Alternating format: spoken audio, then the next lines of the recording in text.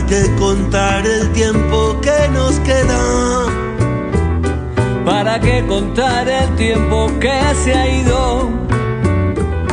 Si vivir es un regalo y un presente, mitad despierto, mitad dormido, mitad abierto, mitad dormido.